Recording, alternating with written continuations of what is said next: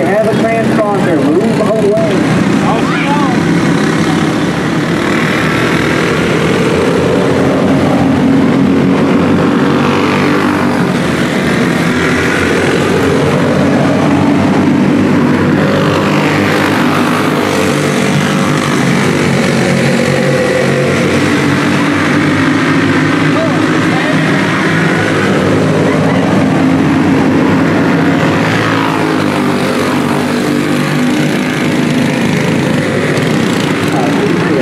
Make sure the face on the zip